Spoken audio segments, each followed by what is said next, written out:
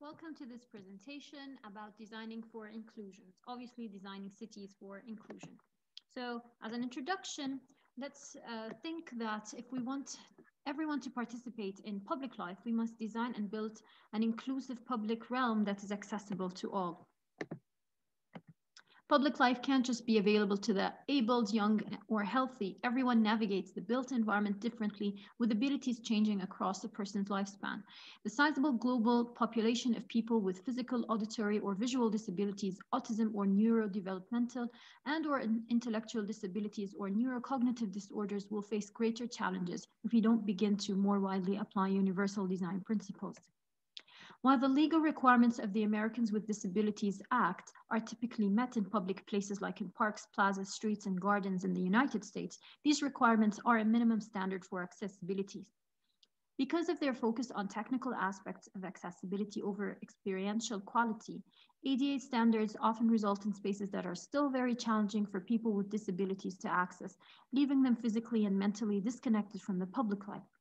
Many countries do not have basic accessibility requirements. Landscape architects and designers can apply universal design principles to create more inclusive spaces for underdeserved communities, which include those who experience communities which feature wide sidewalks and bicycle lanes, provide amenities like shops, restaurants, and medical facilities nearby, meaning those with limited range can manage and maintain many aspects of their lives independently. First of all, disabilities. 1 million pe people, 1 billion people or 15% of the world population experience some form of disability. Aging. The global population of people over 65 years of age is expected to double from 8.5 percent to 17% by 2050, totaling 1.6 billion people. Limited mobility. The World Health Organization estimates 75 million people or 1% of the global population require a wheelchair with nearly a third of that group unable to access them. Lack of community access. 26 million or 56% of Americans over 65 live in suburbs, while 11 million or 23% of Americans over 65 live in rural, rural areas with limited access to public transportation.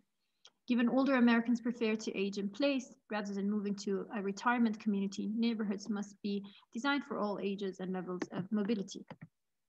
Neurocognitive disorders.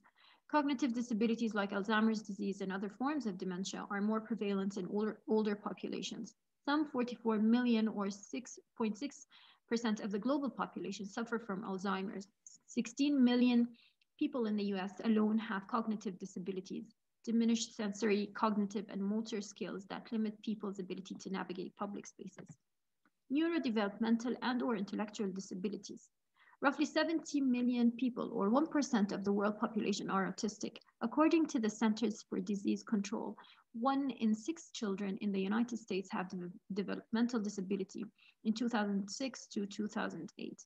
As of 2014, one in 59 children aged eight or 70,000 eight year olds in the US are autistic. Autistic people are often overwhelmed by visual stimulation, the, the acoustic environment, lighting and odor present within the built environment. Blindness and low vision worldwide. 1.6 billion people, 17% of the population have some form of visual disability.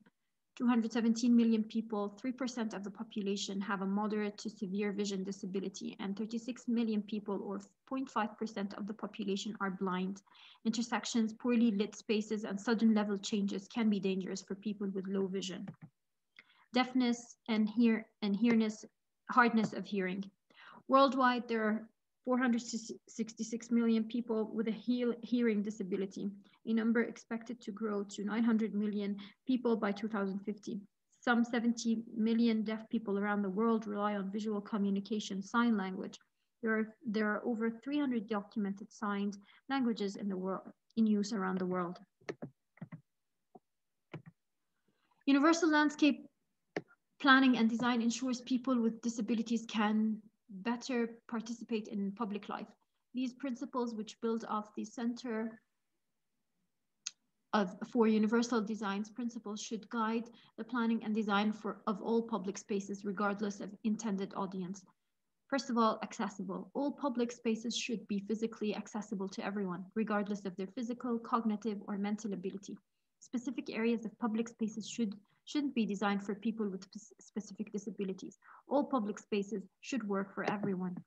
Comfortable. A feeling of safety is the baseline for feeling comfortable, but an inclusive sense of belonging helps everyone to feel comfortable in space. Universal design offers options for people with a range of abilities and disabilities, fostering feelings of belonging. Participatory.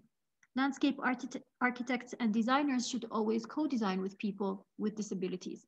Abled landscape architects and designers won't know all of the difficulties that people with disabilities experience environment, in environments designed without them being in mind. Disabled landscape architects and designers can also bring their unique experience and understanding to create more accessible spaces. Note, some people, such as those with advanced dementia, may not be able to, to clearly articulate their challenges with the built environment. In these instances, landscape architects must work with healthcare providers to create solutions. Ecological.